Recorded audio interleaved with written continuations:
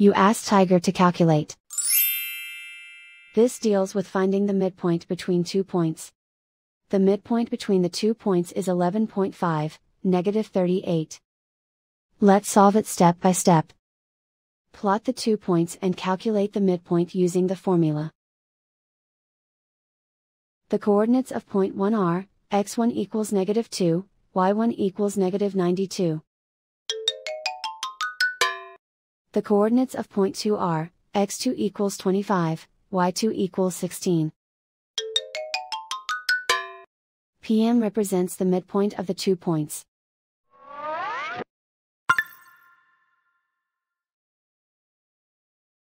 Use the x values in the midpoint formula to find the midpoints x.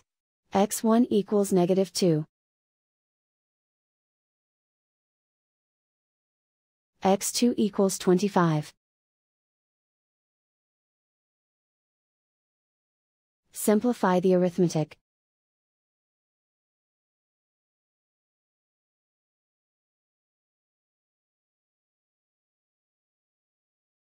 Use the y values in the midpoint formula to find the midpoints y. y1 equals negative 92. y2 equals 16. Simplify the arithmetic.